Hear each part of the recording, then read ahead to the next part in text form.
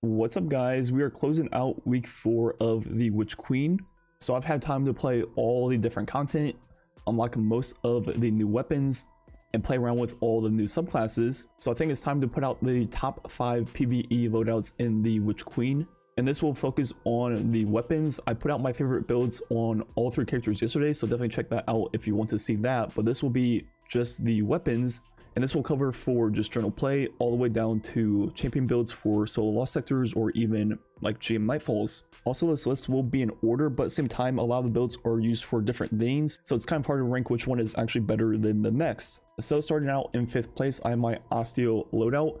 The Osteo itself is extremely strong, one of the strongest exotics in the game. It absolutely shreds in everything, even when you're under light. And I usually pair that with the Forbearance Raid GL with Chain Reaction, then the Palmyra with Auto Loading. And instead of a rocket launcher, you can always use a linear fusion rifle if that is what you're more comfortable with. And I use this build all the time on Warlock with Necrotic Grip. You don't necessarily need Necrotic Grip for Osteo to be great, but with it, it is absolutely dirty. It's one of the best weapons in the game. I use this all during contests for the raid, and I doubled second place kill count on my team, which I was an accurate role, so don't get me wrong, I definitely was in position to give off kills, but while even 20 light, I was still just shredding through absolutely everything. And you can also change out your special weapon for the raid. I was using a blinding GL. Then once we got to boss fight, I put on a sniper to pair with the auto loading rocket to further increase my damage output.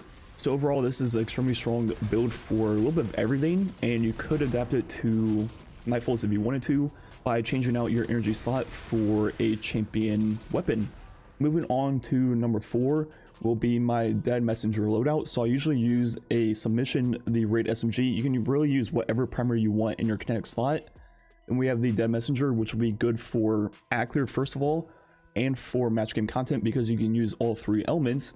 And once again, I have a auto loading rocket or a linear fusion of choice. And now with this, the Dead Messenger is one of the best add clear weapons in the game, and if you use it on the Void version, you can still take advantage of all your Void 3.0 builds and the volatile rounds, which just makes it extremely strong and really fun to use. This weapon is so good at add clear, it was actually used for the solo first encounter of the raid, which has like insane tight windows to pull everything off and you need extremely efficient add clear and the Dead Messenger was used for that. So this thing is definitely the real deal.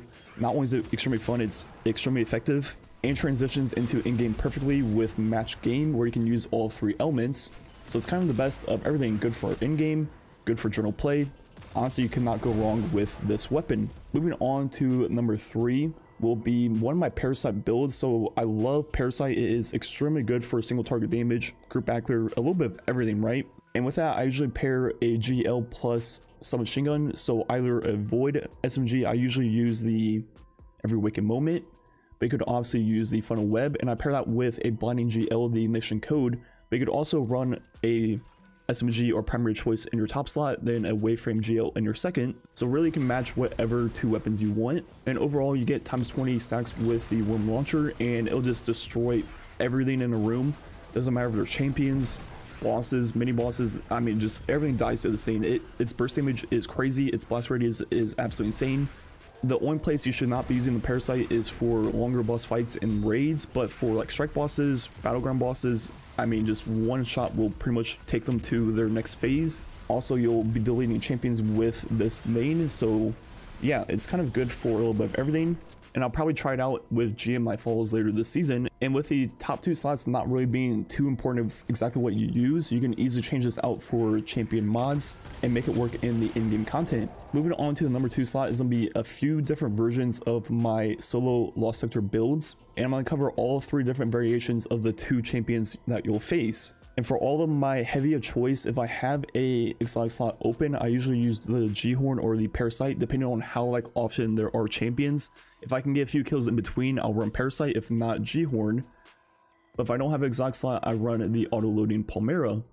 So the first variation will be for Unstoppable and Overload. For Unstoppable, I run the Hand Cannon, usually the Fatebringer but really doesn't matter which one. You could also use the Judgment with Osmosis. Then for the Overload, I have my Void Grenades. I'm running the Dead Messenger to break all the different shields with match game, and the Palmyra auto-loading rocket for champions and the boss fight.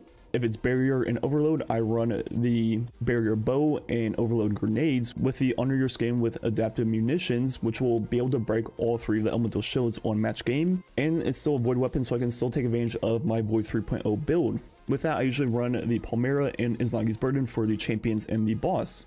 And finally, if it's both Unstoppable and Barrier, I just bite the bullet and run double primary, run Fatebringer or any hand cannon choice with the under skin that we just showed off with the adaptive munitions to still break all three of the elemental shields. Then I run whatever heavy choice, G-Horn, Parasite, or the auto loading rocket. And, and obviously I have to run both of the gauntlet mods.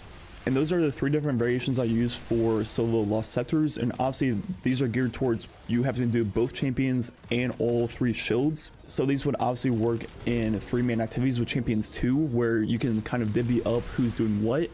These are built for one person doing it all. So obviously you can scale these back and only run one champion mod instead if you're in a fire team and kind of divvy up who's doing what. But overall, how they all work is you more or less just have your heavy weapon for the champions and boss fight. And generally, one rocket will either kill the champion or get them close enough where you can finish them. So what I usually do, as you've seen in a few of these clips, is just simply stick the champion with my Lasting Impression rocket then maybe shoot a few of my whatever special weapon I have on, the Dead Messenger or like one Izanagi shot and the champion will die. If you're playing Void 3.0, you can also use your grenade for a slight debuff, and overall these builds make them pretty easy. Then at the number one slot, I think this is the most versatile best build in the game. It's to be the Palmyra auto-loading rocket with whatever void weapon of choice. I use that every waking moment. You could use funnel web or whatever. Then in our kinetic slot, we have Izanagi's Burden for boss fights, then Witherhoard for just general play. And the thing about these two weapons is they're both specials, so you can run Witherhoard for like add clear.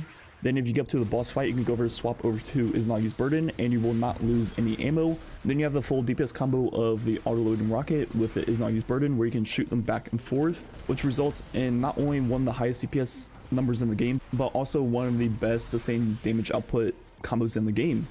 And you have your Void weapon for the Void 3.0 builds with the volatile rounds, Witherhoard to even further combo that for add clear. And this works on all three characters with the Void 3.0 builds. And it's definitely the one I run on Hunter with all the invisibility, dodging to reload my weapons, and both my grenade and my snare bomb for the debuff. So overall, I think that is the best build in the game right now for the Witch Queen. Let me know what you have been running so far. What is your favorite weapon loadout in PvE? And as you saw for a lot of the builds, the energy weapons are Void, and that is because everyone's playing Void 3.0 right now. But honestly, if you're not playing Void or you don't care about volatile rounds, you can easily throw in things like the Raid Pulse or even the Agma, both of which are extremely strong, and there's all kinds of other options that would work really well too. But those are my top 5 PvE loadouts for this DLC. The rest of the gameplay will be some Battlegrounds, decided to switch it up today. Anyways, like usual, thanks for watching, catch us next time.